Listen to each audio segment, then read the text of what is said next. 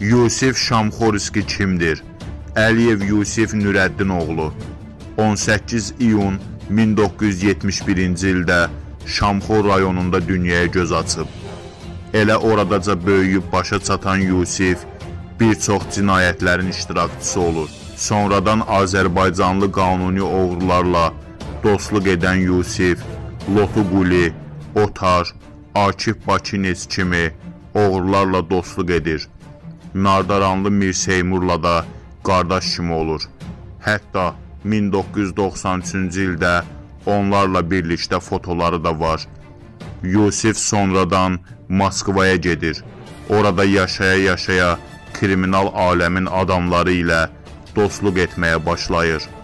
Moskvadan Sankt-Peterburqa köçən Yusif bir müddət sonra Ded Xasan, Yaponçik, Danabaş və s.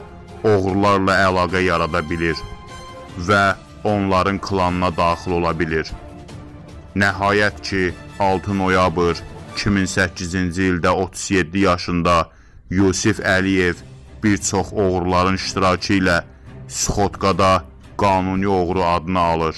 Yusif Əliyevi taclandıran oğrular Rus, erməni, gürcü oğrularından ibarət olur.